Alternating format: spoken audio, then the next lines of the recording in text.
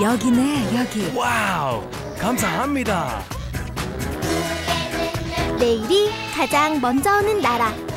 투모로우 팩토리. SK텔레콤.